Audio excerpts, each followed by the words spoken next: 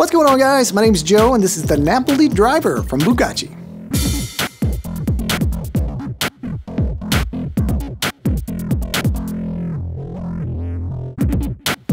This Italian-made driving moc has style for days. It'll be easy to dress this one up or dress it down. It's made with a really soft suede here on the upper. It's got this metallic bit detailing, adds a pop of color and contrast.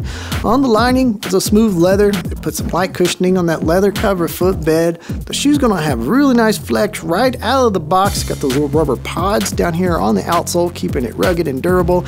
Even comes up with a tiny driver's heel in the back. It's gonna be a very versatile shoe. I can think of just a ton of things to do in this shoe. I could drive through the countryside, casual Fridays, go out on a date.